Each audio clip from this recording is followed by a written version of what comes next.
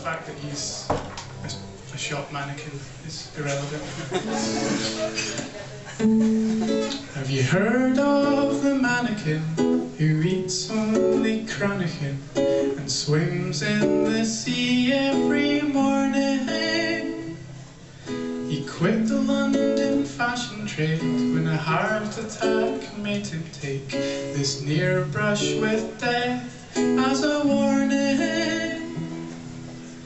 But people still stare at his weird plastic fake molded hair. Does the world have a place for the man with the unchanging face? He met a bonny Highland lass, was attending her evening class, a beginner's guide to the Gaelic. But she was more than slightly quizzical when things got physical.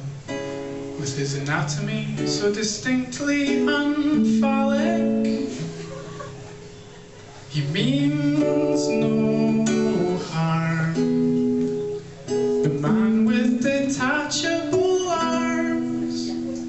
world has no place for the man with